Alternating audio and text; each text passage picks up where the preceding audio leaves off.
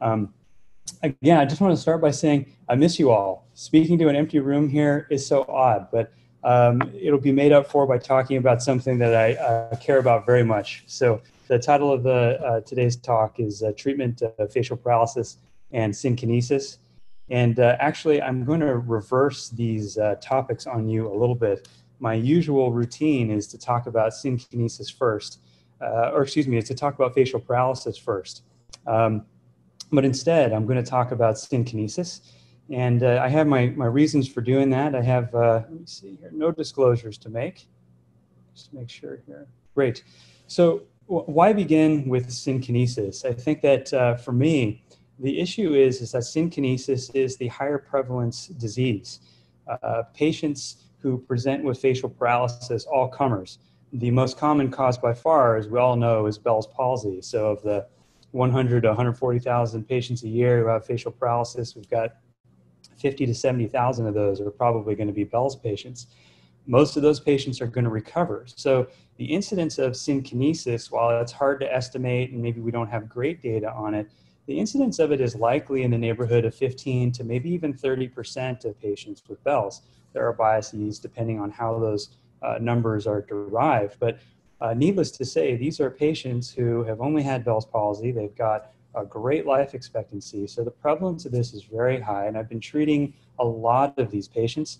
And I've found that I've refi- uh, I have refined my treatment algorithm for taking care of them. And so I wanted to uh, transmit some of that information to you. So to lay the, the groundwork and the foundation of understanding synkinesis, I find that uh, kind of a basic neurobiology discussion is good to do first.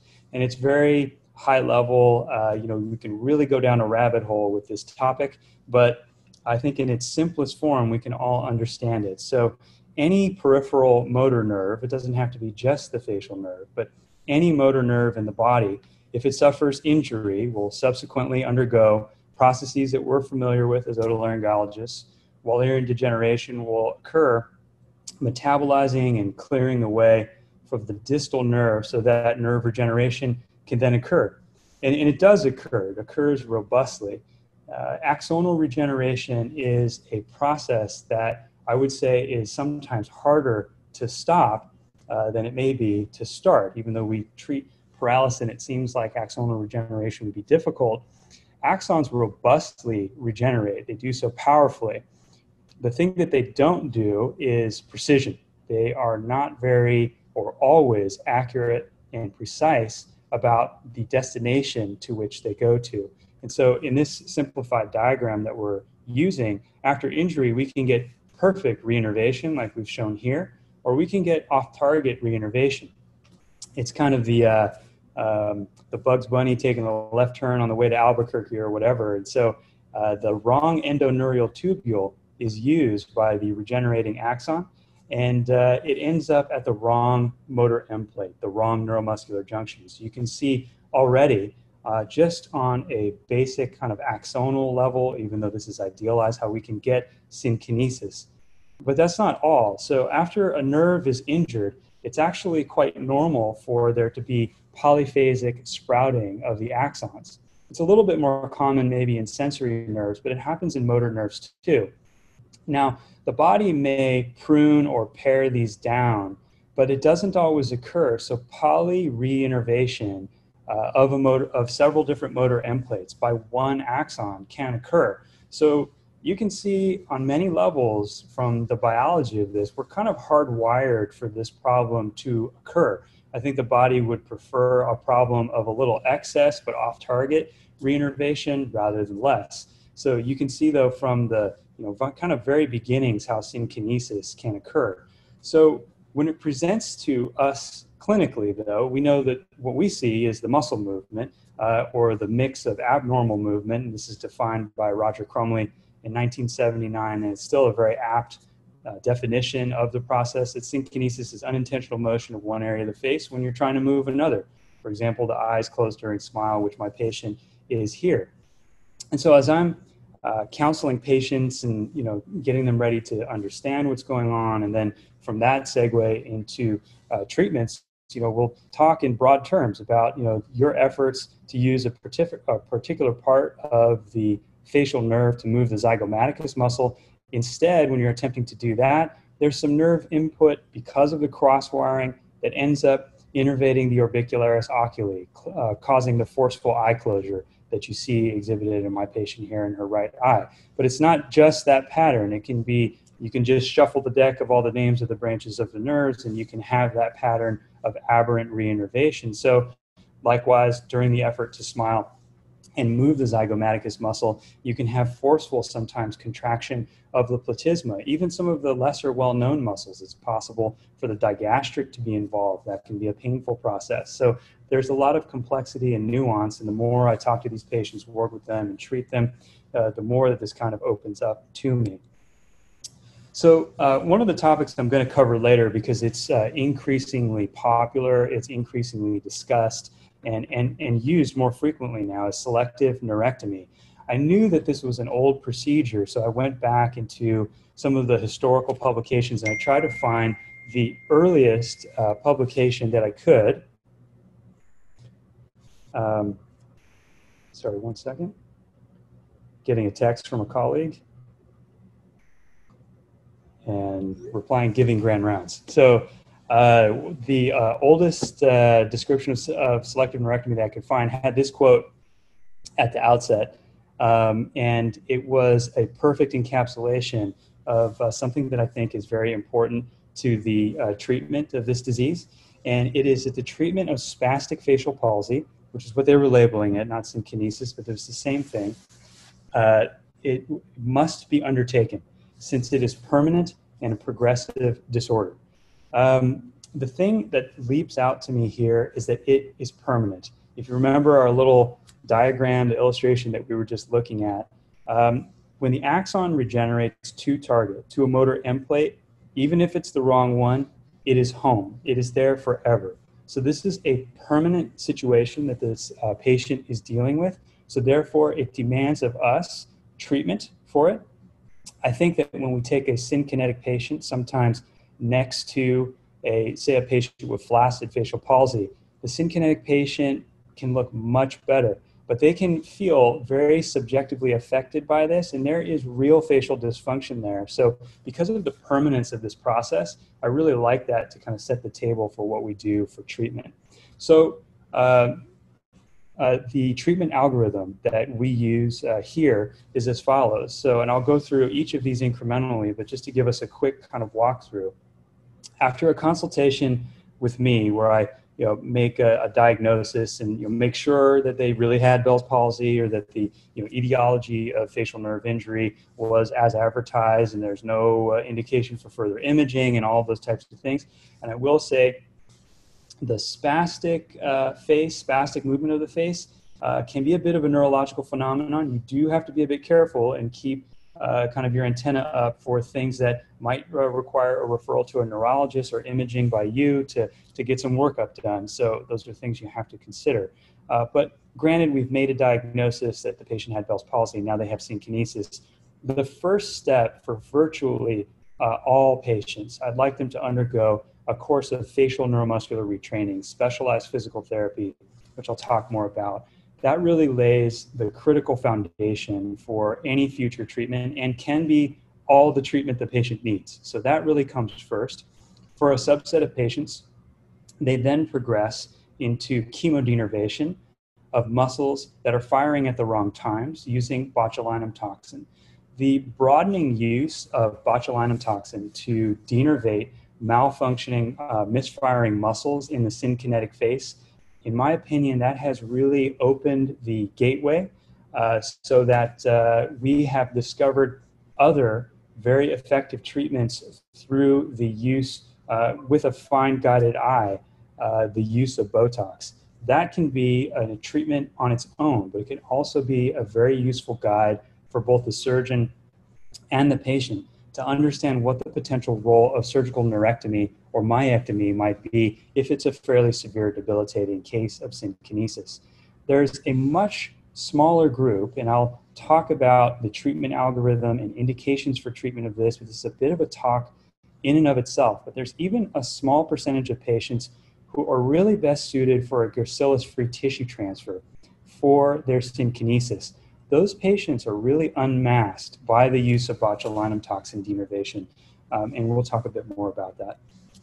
Okay, so the first element of uh, treatment, as I said, is uh, wonderful rehabilitative treatment, and not all uh, centers are fortunate to have uh, somebody who is really skilled and talented at this. But Sarah Strandberg, she's a speech and language pathologist who many of you know. She is quite good uh, at facial neuromuscular retraining. And so I encourage all my patients to begin with either an in person consultation or now in the COVID era, we've been taking full advantage of video consultations with Sarah, which is great for patients who come to see me on consult and maybe a return trip with a couple hour car drive is tough. And they can see Sarah relatively quickly utilizing video, which I've been um, very enthusiastically using. So I can't do this. Um, I can't do this complete justice uh, because you know I don't provide facial retraining. Uh, but in trying to encapsulate it in a single slide, which may or may not be uh, possible, this is a specialized form of physical therapy. It's teaching the patient as much what they should be doing and also what to avoid. You will find if you treat these patients some of them suffer from a little bit too much effort. They're trying so hard to move that that actually results in some of the visible dysfunction that they suffer from. So, a guided hand to take them through how to focus on the muscles of the face, isolate the good movements, minimize the bad, that is extremely effective. So, we want more functional movements, we want to decrease abnormal movements. I think just a, an interesting uh, side note is that um, I believe that the, the muscles of the face don't have any Golgi tendon organs. So you don't get a lot of proprioceptive or really any proprioceptive feedback from your facial muscles. Pretty much what you get from your facial muscles is the disturbance of the soft tissue, and that's kind of how you know what your face is doing in space. But unlike your biceps or your triceps, you don't have as much of a like, I kind of know where my hand is in space right now. That type of knowledge for the face is a little bit different. And so it just underscores that facial retraining and this kind of sensitization to uh, how the facial, the facial muscles are moving is really critical. Um, but from my perspective, the real key is that the patients become more sophisticated, able to provide me more accurate and specific feedback to what's working and what's not. They become experts at the movement of their own face. So one of the reasons I really like it up front is I feel like they're able through training to really isolate what our goals of treatment are. What are the things that they're not able to get yet? And what do we need to target with botulinum toxin? And then subsequently, perhaps with surgery. So, in order to validate that this really does work, you'd be surprised there's not a lot of data out there. Um, this is a commonly used thing. Facial retraining is, uh, you know, pretty much I would say standard of care to uh, try to treat somebody with synkinesis. Um, but not a lot of studies have demonstrated the clinical efficacy of it. So, in an effort to do that at our own center, we performed a retrospective analysis of just under uh, about 200 of our patients, and there was a small subset uh, who had undergone with no botulinum toxin, no surgery, had completed facial neuromuscular retraining alone. And as some of you know, uh, one of my kind of central hypotheses of uh, facial dysfunction and facial paralysis is that it is a disease of communication. And I have a couple publications that ex- uh, explore the impact of facial paralysis and facial dysfunction on something called communicative participation. That's your willingness to just participate verbally with people you know, people you don't, different scenarios. It's an across disease metric. Um, but to cut to the chase here, we found a significant improvement in patients' communicative participation when they had completed a course of uh, facial retraining with Sarah. So you could see that the starting value was just under 15. It's a scale that goes from zero to 30. So you can see an extraordinarily strong statistical effect. We also had an uh, improvement significant improvement in patient quality of life with a disease specific instrument. And there's more data on the page, but I just wanted to highlight the you know really profound improvement in communicative participation. It's uh, kudos to Sarah's great work with these with these patients. So as I said though, for a subset, they may need botulinum toxin in addition to facial retraining. Um, the former group that I just showed did not have that. And Botox has been shown in many studies to improve facial symmetry and significantly improve patient quality of life in those patients who have synkinesis. Uh, so, as a patient is shown here, it can be used for better symmetry for sure, better movement of the oral commissure, and I'll uh, talk about that a lot more in subsequent slides, uh, but also improving facial comfort by reducing facial spasm that they're experiencing. Okay, now as I'm coaching a patient through this, there's more than a small number that will say, look, I am not that enthusiastic about getting Botox injections, you know, every three months for the rest of my life. And while that is true, and there's nothing that can completely replace Botox, I introduce the concept at this point that look, botulinum toxin is can be both a therapy, but it can also guide us. It can guide both me, the surgeon, and the patient into what muscles, when denervated chemically, exert a therapeutic effect. And it allows them to live with that. They walk around with that for months. So they become very well versed in what the potential result of a neurectomy or myectomy may be if they're guided by somebody who's experienced in those procedures. So for me, this is actually a critically important setup for how we're going to treat them. We use it both for outright therapy, they're welcome to just continue on with Botox, but then secondly, um, they can use this as a guide for further treatment. Um, but many of my patients have a simpler question. Uh, they will come to me and just say, this all sounds great. I think I understand synkinesis now. Sarah helped me a lot. Um, I understand there's, you know, Botox is an option. Am I going to smile again? Because that can be one of the most debilitating things. Of course, there's all different varieties of kind of muscle dysfunction.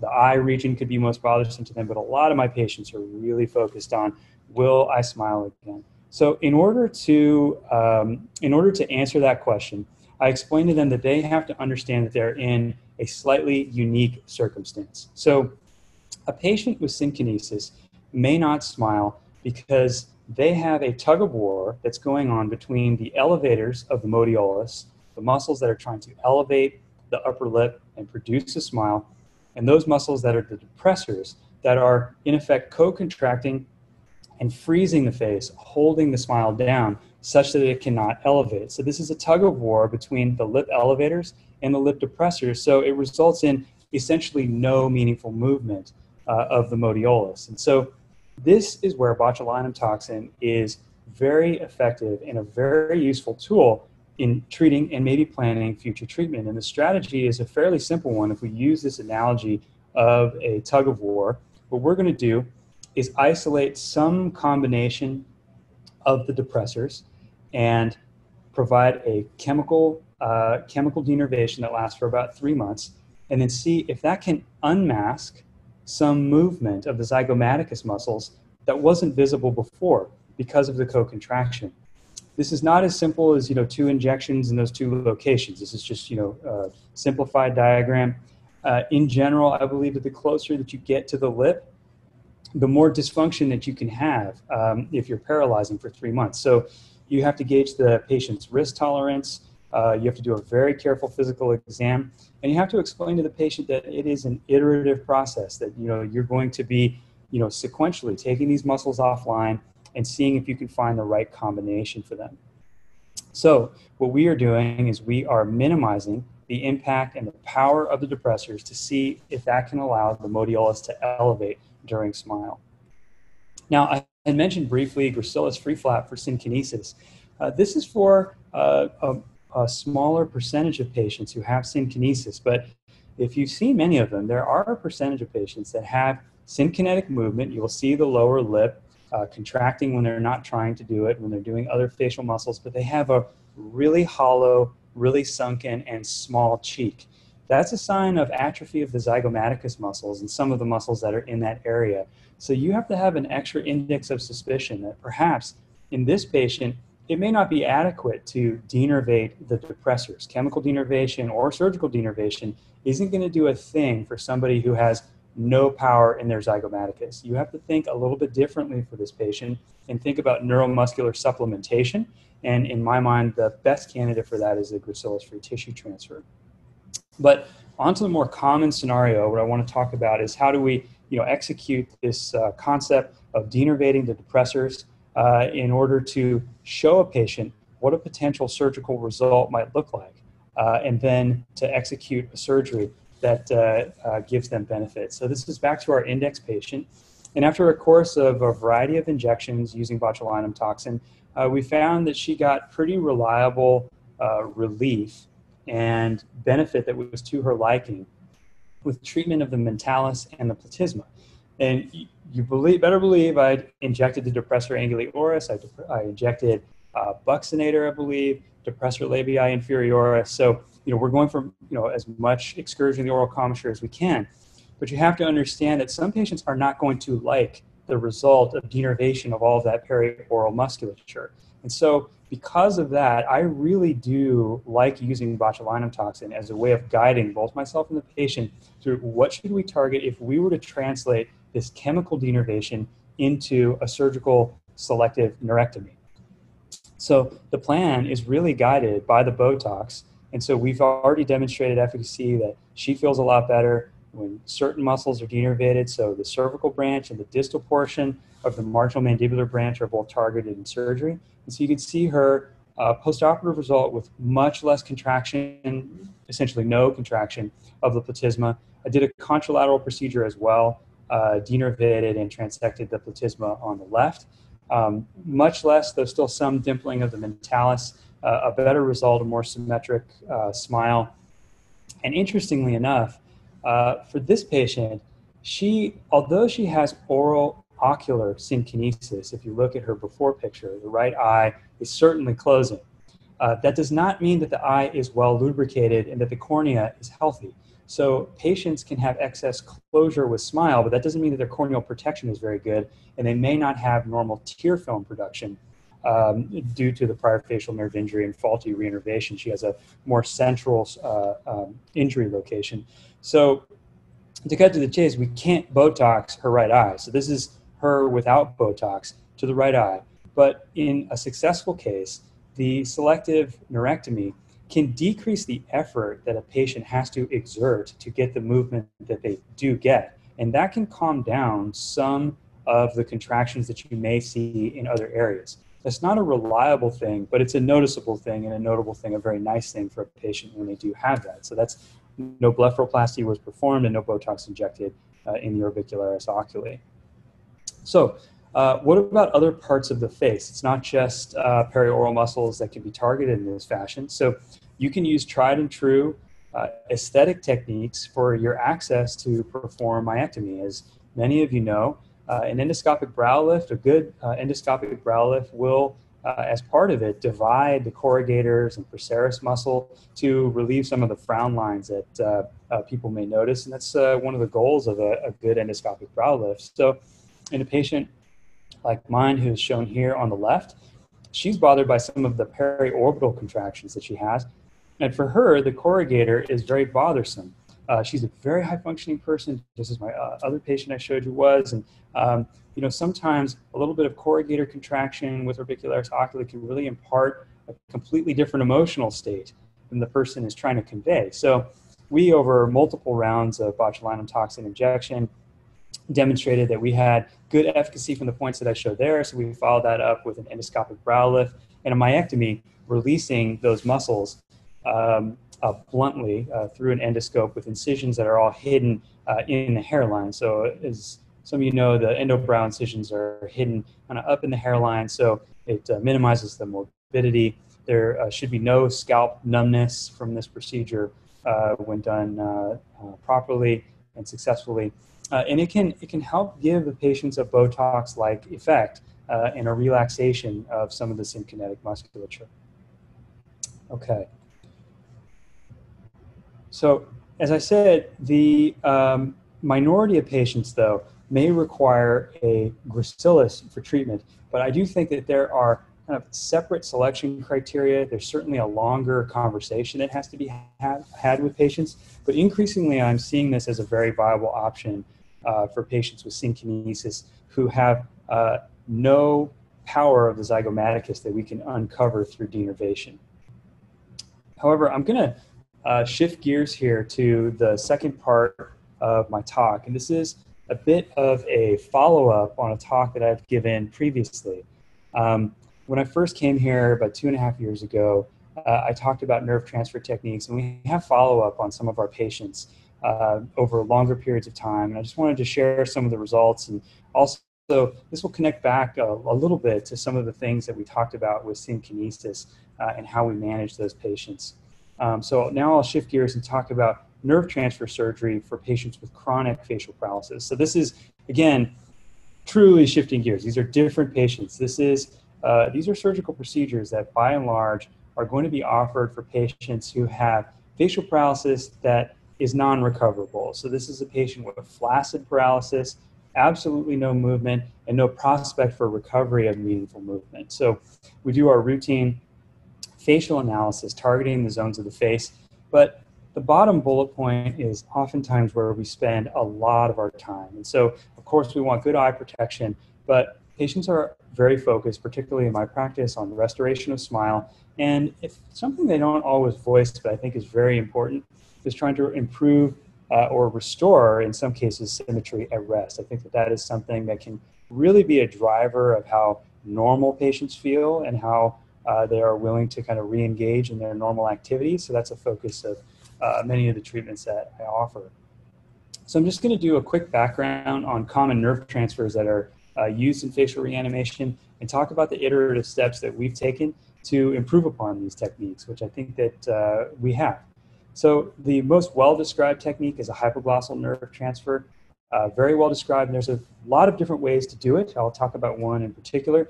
The most popular uh, and most commonly employed reanimation uh, nerve transfer technique nowadays is the masseteric nerve transfer. Over the last 10 years, it's had 10 to 15 years, it's had an explosion uh, of use. It can be very effective, but it does have some downsides, and I'm going to discuss those later. There are other donor nerves, of course. Um, particularly the spinal accessory nerve uh, has been used uh, by some investigators, but um, by some surgeons, but that uh, can be morbid. And so these are the two that you will see by far uh, most commonly uh, in facial reanimation techniques. And so, what are the pros and cons? So, the hypoglossal nerve, very well described. Uh, it does provide some movement, but mostly I think of this as providing some resting tone.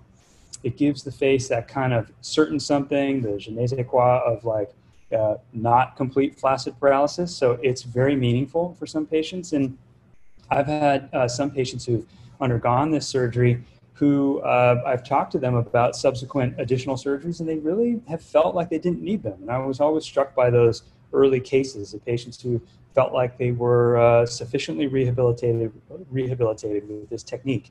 Um, because, as I've drawn it here, I am drawing an end to side nerve transfer of the facial nerve brought down to the hypoglossal nerve. In this instance, in this fashion, typically there may be a little bit of a longer wait time for reinnervation just because you've increased the distance that the regenerating axons from the hypoglossal nerve have to travel through the paralyzed facial nerve. Okay. Uh, as I said, very common, uh, commonly used procedure now is the masseteric nerve transfer. Uh, it's an easy nerve to isolate anatomically, uh, and it can have some amazing results for smile restoration. It can be done in several different ways. Uh, one is a selective nerve transfer.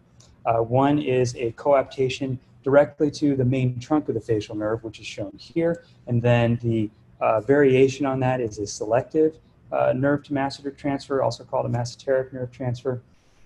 The, the thought of this procedure is that you can utilize the advantage of leaving the rest of the facial nerve intact.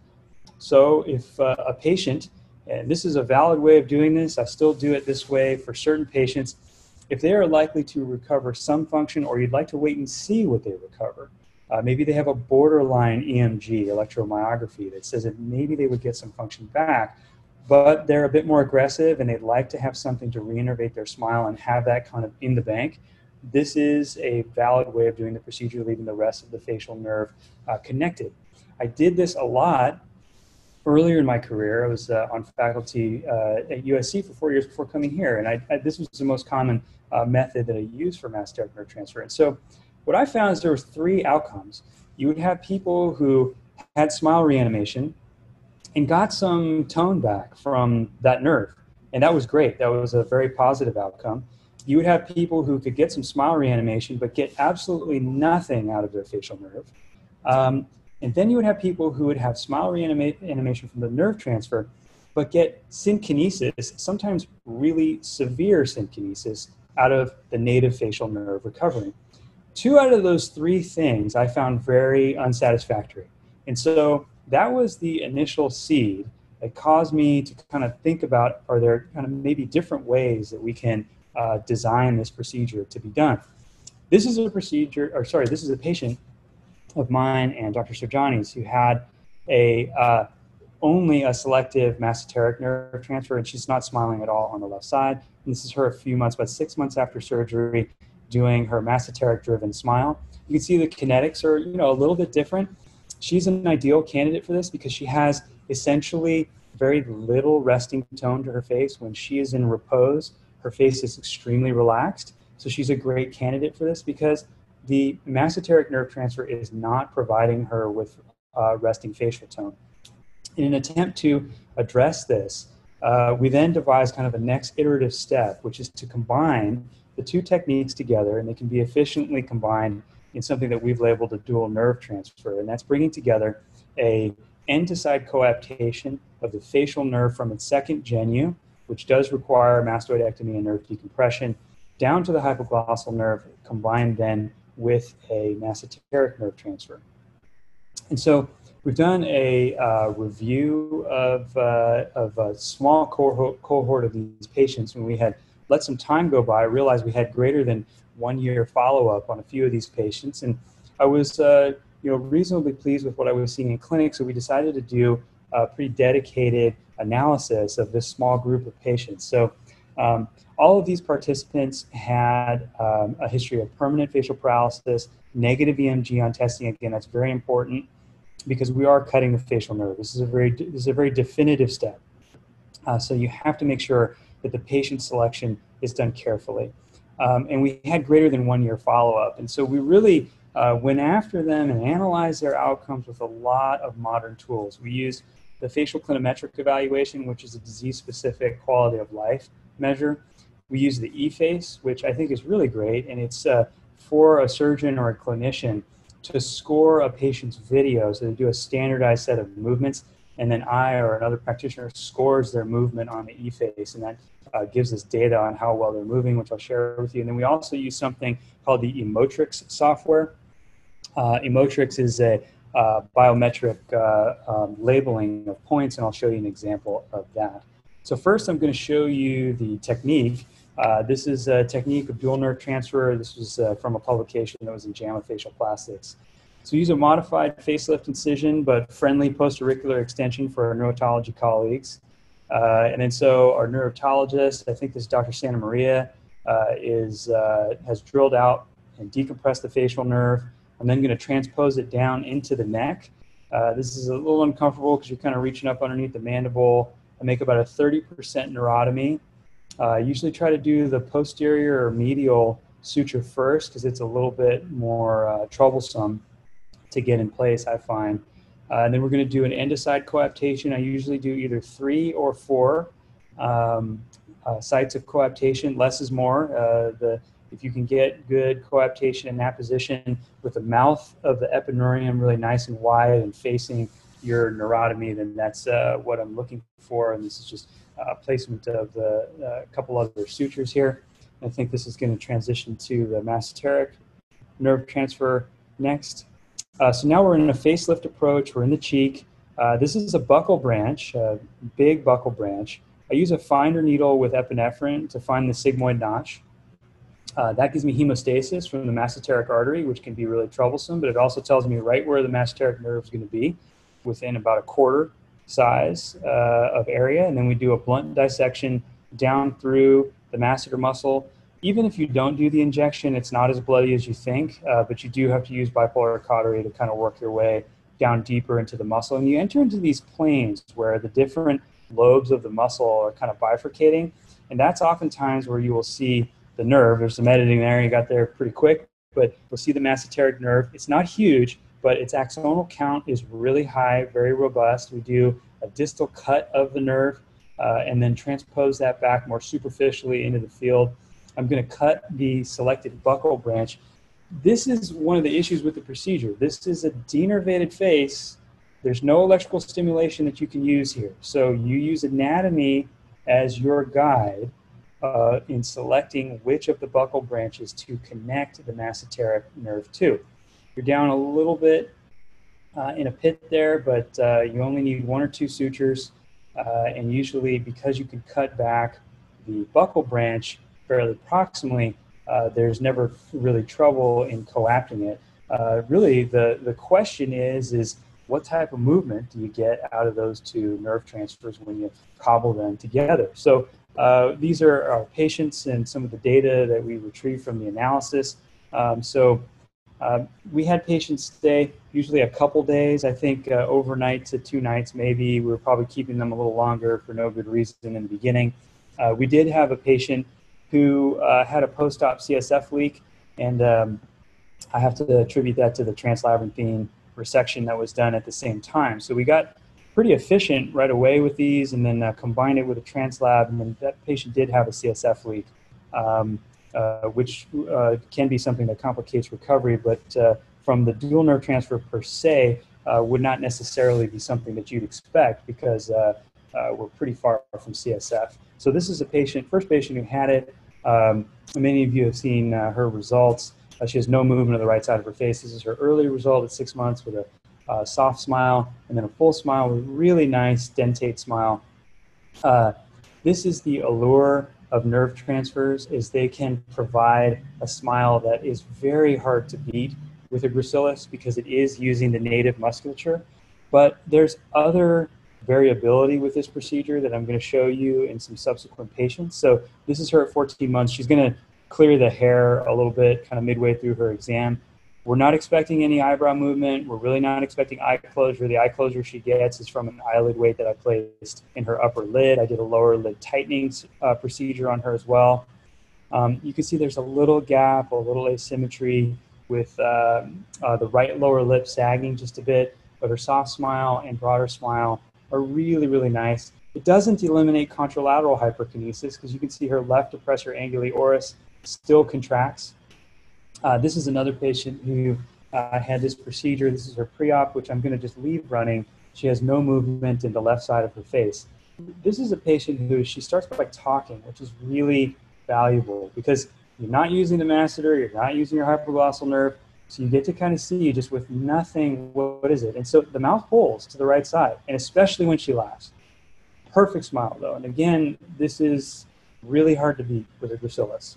Um, thus the you know the attraction to these uh, procedures. So that when she uh, decides that it's time to bite down to initiate her smile she can really match the two sides well together very nicely.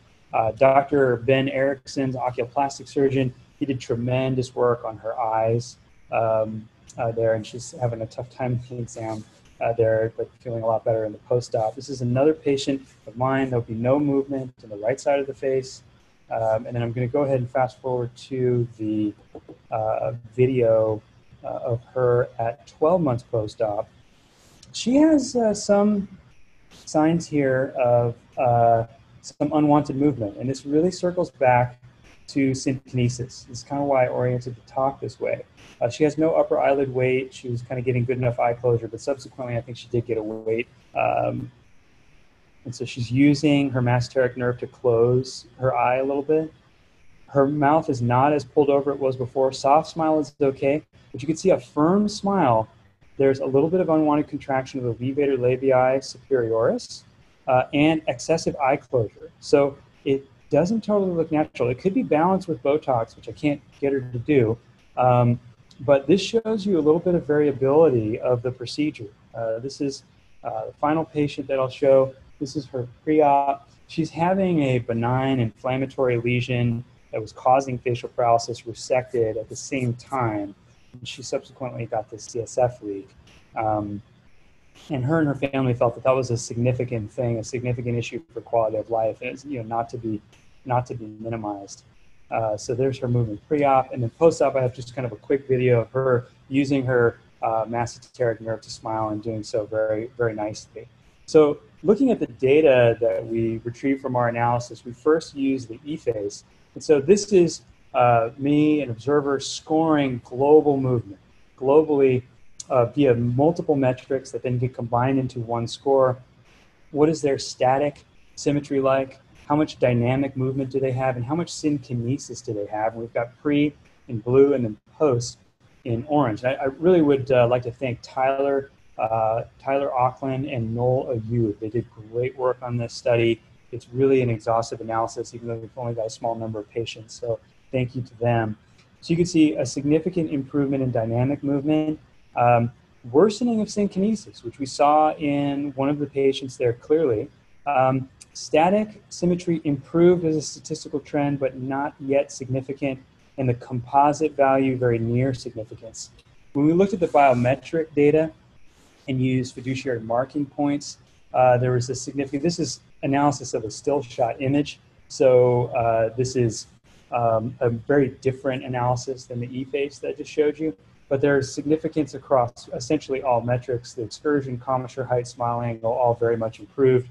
Uh, commissure excursion uh, measured as percent deviation when the face is relaxed, uh, and the height of the commissure, uh, both showing either trends or statistically significance in the uh, statistically significant change in the right direction. So kind of bringing this all together, we didn't have any uh, patients who had hemiatrophy of the tongue, and that was closely assessed by me in post-op clinic. No dysarthria. There were no perioperative complications that we attributed directly to the dual, dual nerve transfer surgery, but we did have that CSF leak. And the quality of life improvement was also close to significance with just a small number of patients, a statistical trend. And we have a couple of more patients who are kind of getting closer to graduating from their one year result. I think that will add uh, some more information, whether it be positive or negative, will be uh, useful new information on the results of this procedure. So my conclusion is this is a clinically useful procedure, but it does have some drawbacks. There is a significant increase in clinician scores synkinesis, and after we just had a long discussion about the nuanced management of synkinesis, uh, that's something that you should have an appreciation now, as this can be very clinically significant. So um, that's not to be uh, minimized or uh, just kind of passed off. It's, of course, a really small cohort. I'm not doing a direct comparison to other techniques. That's a very hard thing to achieve um, in facial reanimation surgery, but I think encouraging results. And to kind of bring this um, around again and uh, get us closer towards the end of the procedure, uh, this patient and I, we saw each other many times in clinic. We're very close. She's just a wonderful, wonderful person. And, you know, as I showed you with her video, she has this uh, flaccidity uh, during, uh, she has this flaccidity of movement when she's speaking. Um, but when she smiles, her smile is her normal smile. She even shows me, you know, I had this dimple before. I had this, like, this is my smile, you know, it's back. But it's not spontaneous, right? So when we, when she gets told a joke or laughs or something, you know, you can see her there, boom, there's nothing because she's a happy person, she's laughing, and there is no contralateral input. So we had uh, some long discussions, and I'm going to give you a spoiler alert here. I did another surgery, but I don't have the results yet. So sorry to disappoint you, but it is a very intriguing concept of how we can kind of string together base hits to try to make a meaningful difference in patient outcome here. So what she had, she said, look, is there any way that we can make this spontaneous? And I said, well, you know, we could try a cross-facial nerve graft. Um, a cross-facial nerve graft will not work in a paralyzed face. So if you go into a patient with facial paralysis and uh, they have chronic facial paralysis, and you use a cross-facial nerve graft and connect it to one of the paralyzed branches, you will get little to no meaningful movement from that. Um, combine that with the fact that if the face is paralyzed, you do not know which branch to use. You can't electrically stimulate. For the masseteric nerve transfer, I have some anatomic guides that I use that give me reasonably reliable res- results for smile reanimation. But what I realized in this patient's case is because we had done the dual nerve transfer previously, we now have the ability to go back in and use electrical stimulation completely. It should be electrically electrically kind of compliant. We should be able to put a probe on the individual branches and select which one we might want to coapt for a cross-facial nerve graft. Not only that, the burden of regeneration is now much lower because we have a completely, an otherwise viable left side of the face. And so when we connect the cross-facial nerve graft, we're doing so to a freshly cut branch that we know the function of. So this is something that I was much more uh, willing to provide with the one provision I told her, would you be willing to risk the smile that you get when you bite? Would you be willing to put that on the table if you could do this spontaneously? Maybe if it's not as robust or not as strong, you know, what do you think? And then her choice was yes. So we went ahead and did a cross-facial nerve graft. This is just only about uh, three months ago that we did the procedure, maybe four months ago. I'm seeing her again soon. She did get a Tinel sign very rapidly.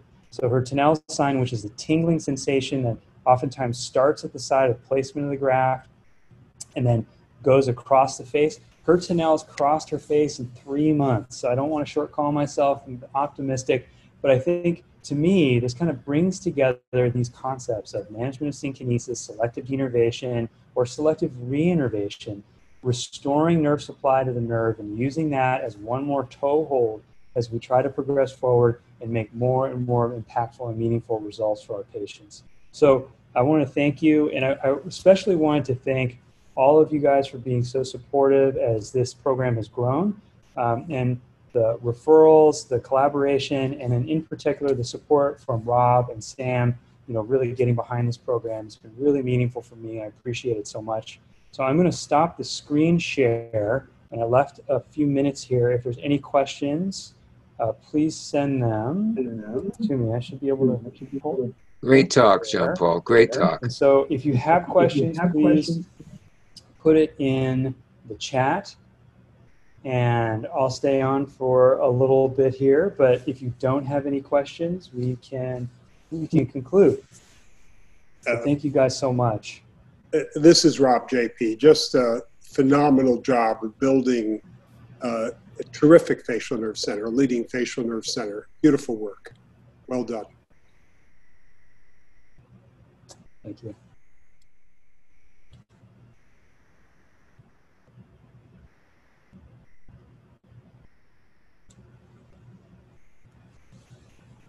Oh, and just a quick reminder, I cannot hear you as well, so please do use the chat. Uh, if you'd like, there is uh, from Mike. Questions. What is the rehab like after I'm in, uh, procedure? I'm in fee because I got three kids. Maybe probably going nuts behind me if I was at home. Can you see the chat box? Ah.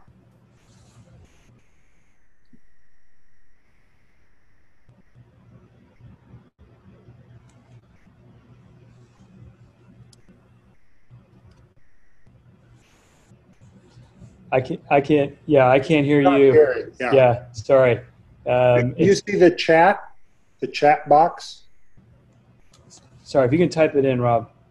Just let me protect the grafts of the first surgery so that it's easier to come back for a cross-facial nerve graft Something to protect the grafts of the first surgery. Um, thanks for the question, Lisa. So. Oh, good. Oh, the chat box. chat box. Share screen for chat box. I think is what I'm being told. So everybody can see it. All right, here we go. And there we go. Oh, where's my chat box? Oh, we can see it. Got our thumbnails. Screen share.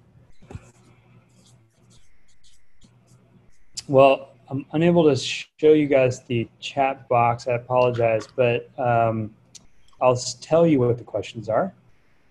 Chat box. So, we, oh, you can see it. Okay, great. Thank you, Rob.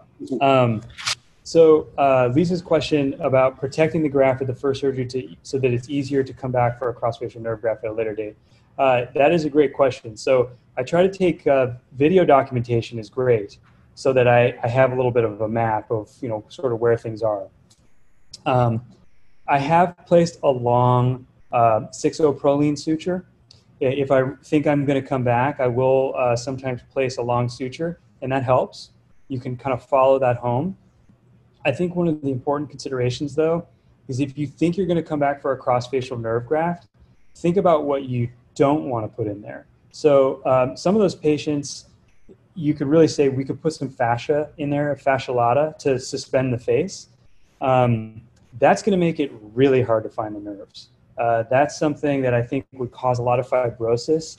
And uh, so I think about maybe not leaving things, but a long 6-O-Prolene is something that I've used before. I had a colleague who actually used a PE tube.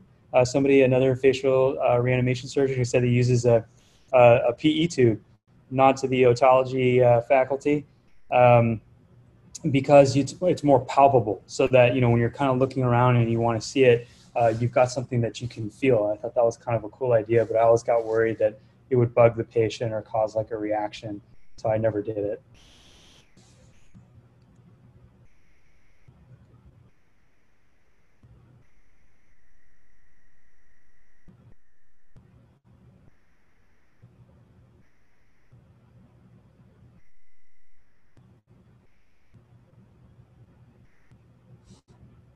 Yeah, you know that that's a great point, Lisa. Thank you for these really great uh, thoughts and questions.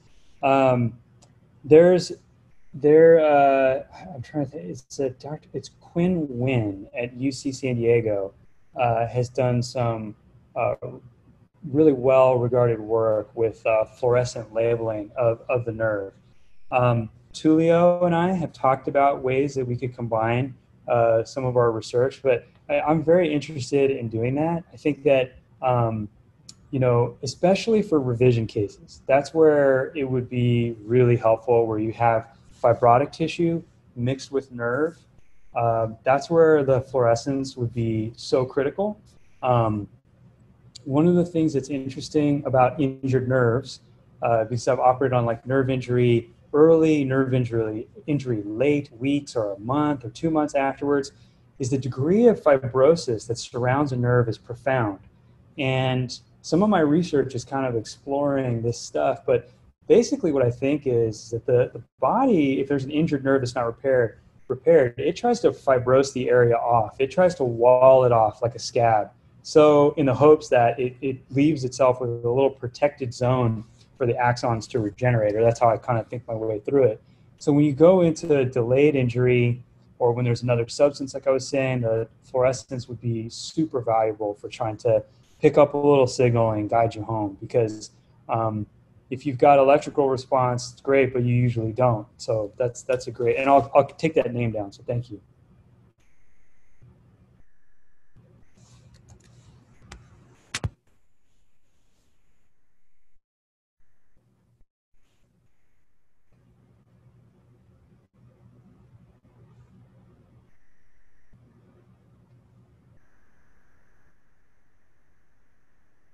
Thank you. It's always a fun thing to watch. Something about it. I had some video from the cross-facial nerve case that I showed, but I just couldn't get it edited in time. But that'll be uh, that'll be something I show, as long as it works the way we hope.